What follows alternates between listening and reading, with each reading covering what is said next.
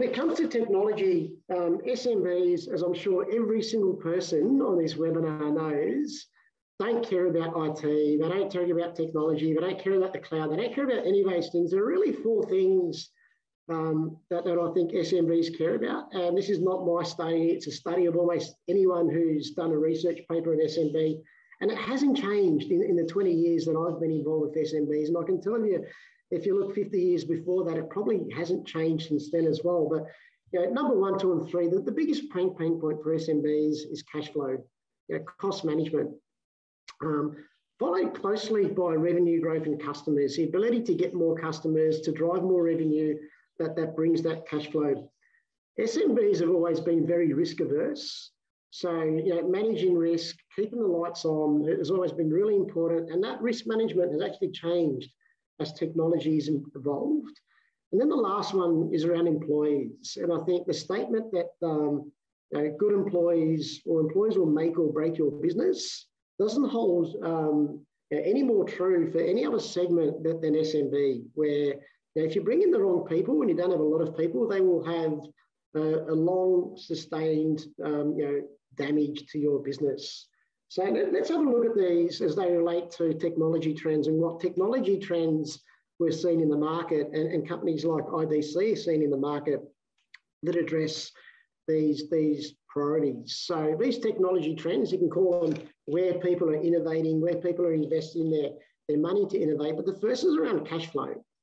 And you know, the most obvious um, ability to influence cash flow through your technology is by infrastructure to the cloud, right? So the cloud, by, by definition, um, doesn't mean you have to invest anything up front in terms of large capital expenditure. It's all OPEX. You pay for what you use. If you don't use something, you, you don't pay for it. It's very much like if I think back to the days of days I read about, obviously not there, but trying to um, trying to get electricity into a into a house or a power plant, you'd have to, or into a factory, sorry, you'd have to go and buy a generator, plug the generator in, and you've got that large upfront capital investment that you, have paid for whether you use it or not.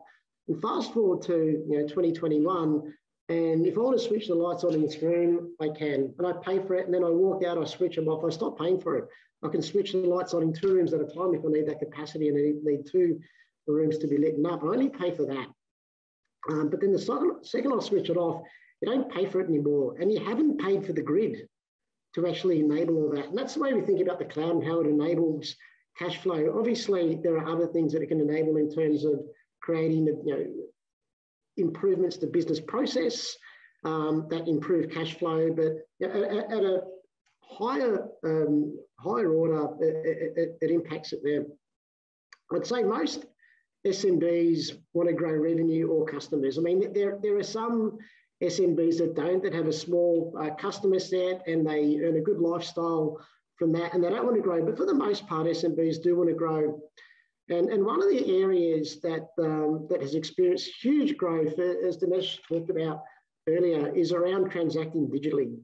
And digital transactions um, and digitalization of the economy is happening at all levels. And if you're not thinking about digitalizing your business, then you certainly should. And it's not the domain of just born in the cloud type organizations or digital native businesses selling on the web. it's becoming pervasive across almost every industry. And I'll give some examples later on. But you know, one, one example I'll talk to now is, is a customer that we have in the uh, auctioneering and valuations business. So running auctions for farm equipment and large scale equipment, which is a pretty traditional business. And they've moved that business online to actually expand um, you know, the number of people that can actually auction on, on, um, on those um, items and, and, those assets. And what they found though is they started to hit some pretty big days. For example, there's a, there's a day called Derby Day up in Queensland. It goes for two days, um, or the Derby auction. And um, yeah, they, they were still $20 million worth of assets. Things started to collapse, systems started to go down, user experience was horrible. And by moving to you know, a, a cloud environment where they could scale up and scale down, not only did they save something like 66% on their server costs, which goes back to the first point, but they were able to actually uh, get four times more productivity through, um, or four times more, um, I guess, growth through, through each dollar that they spent. So Um, AI and analytics, I'm not going to talk too much because I'll give a couple of customer examples where, where we talk about that in a bit of depth. But AI and analytics, regardless of the industry you're in, over time will become pervasive as well. Um, if there's anything where we need to crunch numbers, if we need to do some analysis about ourselves or about our customers and look at trend lines and then hopefully pop something out the other side that actually gives us insight to change the offerings that we provide our customers, to change the way that we do business, to change our processes. If it can be done by a robot, it should be done by a robot. It shouldn't be sat, you know, done by somebody sitting there and trying to analyze it because all those tools are available today to help make smarter decisions and offerings for customers. So that, that'll become part of everything that we do over time. Risk management, um, you know, SMBs has historically always been somewhat risk averse, and that, that's changing a lot as, as, we look at the digitization of our economy. economy um, and also as, as more businesses go to that online world. And, and while security was always something that, that kept SMBs up at night, now cybersecurity is becoming something that, that, that is a thing that, that, that's keeping them up at night as well.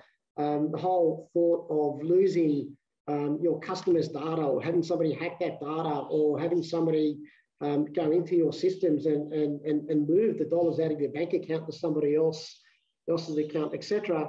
I think is just super scary. And, and it, it's no surprise why, if you look at some of the, we've done some studies with a company called TRA, Tech Research Asia, um, that have indicated that the top two areas of um, innovation around technology where SMBs will spend over the next year will be around infrastructure to the cloud and modernising that, and also in security. So security is just huge.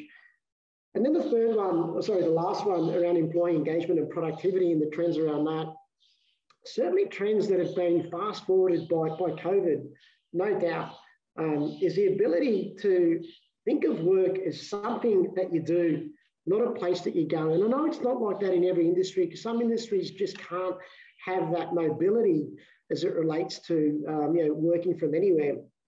But there's a there's a new expectation that that's becoming the norm um, with the next generation. And I'll continue. I'll, I'll, cough every now and then, so I apologise. I do have a cold, so I'll let that out. But there's an expectation that um, the great experiences that uh, you know, workers get at home in their applications are replicated and they get those same sorts of experiences when they you know, log into their work, work applications and when they do their work. And you know, there's a generation that's coming through that actually expects to be able to be as productive at home as they are in the office. And I'm not just talking about going onto a Zoom call and sharing screens and, and talking to other people online on mass in, in conference calls. I'm talking the ability to truly be able to access everything you can in the office, to truly do that in a secure manner behind the firewall that um, whilst being able to be as productive as you can from anywhere doesn't put yourself or the business at risk. And it's becoming an expectation that you know, it will become table stakes as, as SMBs you know, fight to attract the best talent in market going forward, and certainly an area of investment that we're seeing. And then the last one is around process automation. Not going to not going to talk to this too much, but there are all sorts of tools out there that help you automate processes. If you do something once, you do it twice, you do it three times, automate it. They never have to do it again. It just makes so sense, so much sense. And it's just one of those things that now um, is becoming a lot more prominent in terms of what we're seeing in terms of technology usage from customers.